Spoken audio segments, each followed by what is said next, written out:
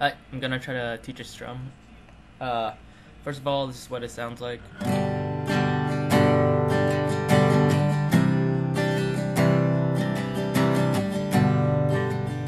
So in this video, I'm just gonna go back between uh, G and C the whole time, but uh, the strum.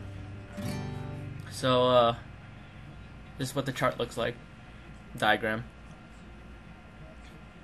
Uh, any solid colored arrows are played while the blank arrows are omitted. And uh, you know all down played all down strums that are played are black while up strums that are played are red. So uh you first you have a down let's see uh down strums that are omitted I will say X up strums that are omitted, I will say Y. So, now for the strum.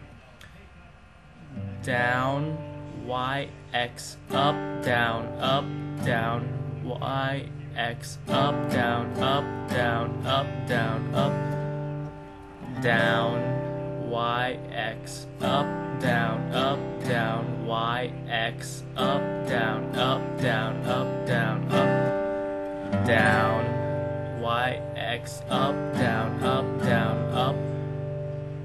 Whoops, messed up there. Anyways, uh, so let's try again. Down, Y, X, up, down, up, down, Y, X, up, down, up, down, up, down, up. Go to the next chord. Down, Y, X, up, down, up, down, Y, X, up,